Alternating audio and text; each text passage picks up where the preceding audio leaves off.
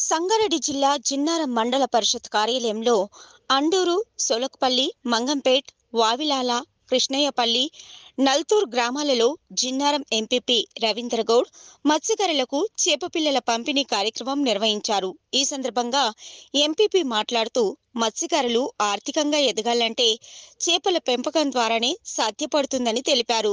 ఈ సంవత్సరం వర్షాలతో చెరువులు కుంటలు కలకలలాడుతున్నాయని కావున ఈ అవకాశాన్ని సద్వినియోగం చేసుకొని చెరువులు కుంటలలో చేపల పెంపకం మరింత అభివృద్ధి చేసుకోవాలని మత్స్యకారులకు సూచించారు.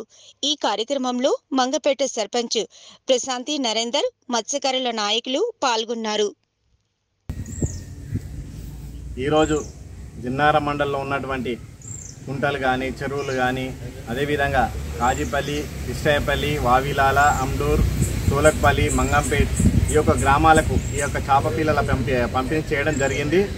అయితే మత్స్యకారులందరూ కూడా ఈ యొక్క సీడ్ పెరిగి పెద్దదయ్యి లాభాల పంటలు ముందుకెళ్ళాలి అని కూడా కోరుకుంటూ మీరు తగు జాగ్రత్త ఏదైతే విధంగా ఈ మా చేపపిల్ల వదులుతున్నామో ఈరోజు ఏ విధంగా శ్రద్ధ తీసుకుంటున్నామో అదేవిధంగా చేపపిల్ల పెరిగి పెద్దదయ్యే వారు కూడా శ్రద్ధ తీసుకొని మీరు లాభాల పంటలు ముందుకెళ్ళాలని అదేవిధంగా మత్స్యకార సోదరులందరూ కూడా లాభాలు పొందాలని కూడా ఆశిస్తూ ఈ యొక్క కార్యక్రమానికి విచ్చేసినటువంటి అందరికీ కూడా పేరు పేరున నమస్సు మంజలు తెలియజేస్తున్నాను